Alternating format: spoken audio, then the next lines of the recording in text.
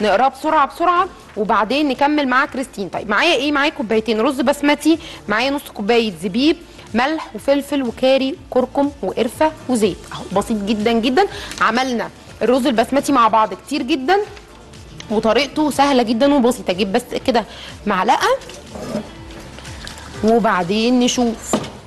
ها كريستين قولي لي بقى نكمل العرض بتاعنا. عايزين نقول العرض بتاعنا تفصيليا كده؟ واحدة واحدة. تمام هو عامة لو أنا اتجنبت مشكلة الجوع الهستيري اللي أنا بحس بيه في الشتاء تمام. مع الكورس بتاعي إحنا الكورس بتاعنا أول كبسولة طبعا دي بتسد الشهية بتكسر الخلايا الدهنية تمام. تاني حاجة الكبسولات آه، دي معايا كبسولات تاني دي برضو بتشتغل على منطقة البطن تمام. ليه عشان هي فيها آه، دي بقى الكبسولات الجديدة اللي أنا ضفتها على الكورس آه دي في- جديدة، دي أول مرة دي تنزل. معانا. آه دي آه، محتوية فيها التوت الأبيض القهوة الخضراء قشر البندق ده كله آه، يعني كفيل وعنده قدرة ومعروف بقدرته الهائلة على تفتيت الدهون اللي في البطن. تمام حلو يعني جدا. بيشتغل على منطقة البطن بس الكبسولات دي فعالة جدا. يعني دي رايحة للدهون اللي في اللي البطن. في اللي أنا البطن غير آه هي دي مختلفة عن اي عن أي كورس تاني. تمام. هي الكبسولات دي اللي في الكورس دي مختلفة عن أي كورس تاني.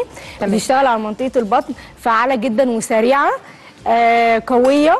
بت... وهتفيد الناس اللي عندها دهون بس في منطقة البطن. يعني في ناس بيكون عندها بس سواء دهون في المنطقة أو. ست آه عشان الكرش حلو. أيوه والناس اللي هي والدة قيصري والحاجات دي بعد ولادة القيصري طبعا بتبقى بطن في. بطن. ده كله هي بتشتغل على النقط دي. بتخ- بتخلصنا من الدهون القديمة وبتشتغل على الدهون اللي إحنا بندخلها عشان بالنسبة للأكل بتاع الشتاء اللي هو الدسم.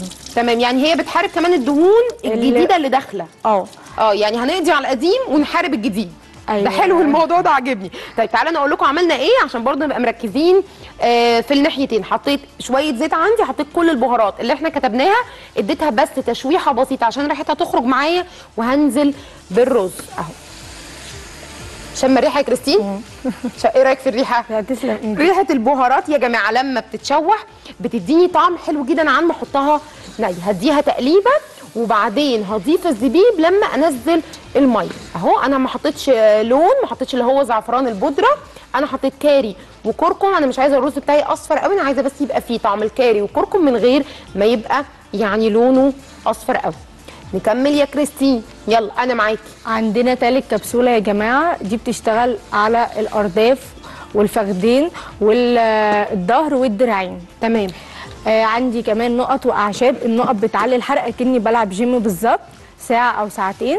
سواء آه أنا قاعدة في البيت أنا بحرق نايمة أنا بحرق. الحرق عندي هي بتعالج النقطة الكورس بتاعي فيه ميزة إن هو بيعالج نقطة أصلا الحرق إن هو بيخليه بدل ما هو ضعيف لا بيعلي الحرق طبيعي. طبيعي. لو حد عنده مشكلة في الحرق أو مريض كلنا عندنا أصلا مشكلة في الحرق هو الحرق. عندنا بعافية يعني آه. واخد له تعسيله ومش راضي يقوم. آه فطبعا النقط بتقوم بالدور ده.